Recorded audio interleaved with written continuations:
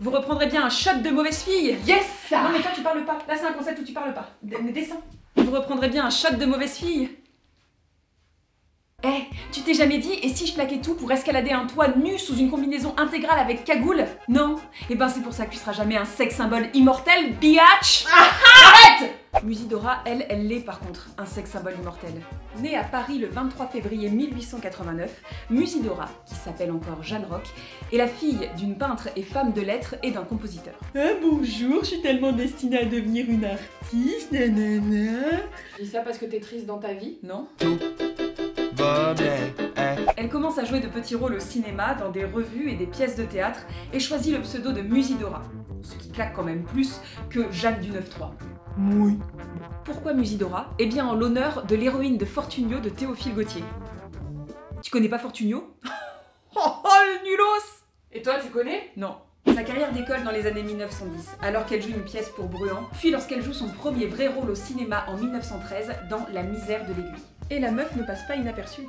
Grands yeux noirs dévastateurs, beauté troublante, charme magnétique. Comme moi. Elle va jouer dans tout un tas de trucs jusqu'à ce que, en 1915, elle se voit offrir le rôle de sa vie par Feuillade dans la série de films Les Vampires. Son personnage, Irma Vep, anagramme du mot vampire, Habile. est une méchante qui sévit au sein du terrible gang des vampires, dont on va suivre les aventures sur 10 épisodes. Un gang qui n'est pas du tout formé de vampires d'ailleurs. Mais le nom claque. Le contexte de la sortie des films pendant la Première Guerre mondiale est clairement pas top délire. Les producteurs veulent du film patriotique et familial, pas un truc noir et violent avec de la meuf sexy, rapport au moral des troupes. Sauf que, en fait, eh ben, les troupes et les autres, ils kiffent les vampires de ouf, parce que ça leur change les idées. Musidora crée le scandale. Scandale En apparaissant vêtue d'un collant noir intégral et avec un maquillage flippant qu'à côté Alice Cooper, c'est une princesse Disney. Elle est l'égérie des forces du mal, l'image du mystère, de la violence, de la séduction, de la sensualité. Ça n'est pas pareil sur le visuel du. Ça tire. Et bim, elle devient une actrice phare, une star de son temps, une muse du surréalisme et une des premières ventes du cinéma. C'est même pour elle que ce terme aurait été inventé d'ailleurs, et il viendrait de vampire. Elle enchaîne en 1916 avec le rôle de Diana Monti dans Judex, une usurpatrice d'identité, séductrice en quête d'une victime à dépouiller. La meuf est donc la figure de la mauvaise fille pour toute une génération. Je peux enlever mon collant? S'il vous plaît?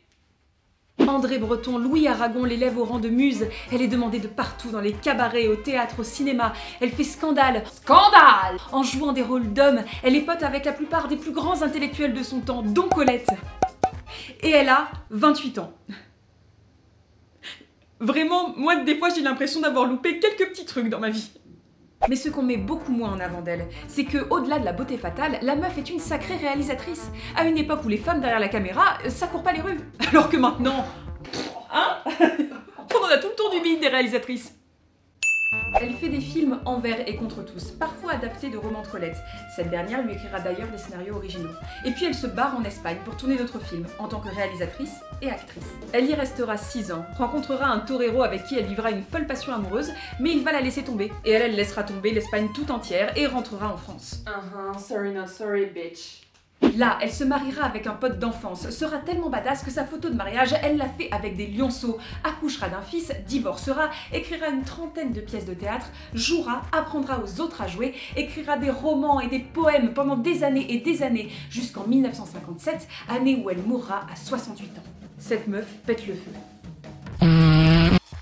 C'est une femme qui a accepté d'être le visage de la mauvaise fille pour ses contemporains, une comédienne qui n'hésitait pas à se mettre en danger pour coller à ses rôles, une image de la femme libre, mais pas seulement. C'est une intellectuelle, une force de la nature, une artiste complète qui n'a jamais peur de choquer, mais pas seulement. C'est aussi un être humain qui a réussi à établir sa réputation de sexitude sur une combinaison intégrale avec cagoule. Et ça, ça on pourra dire ce qu'on veut.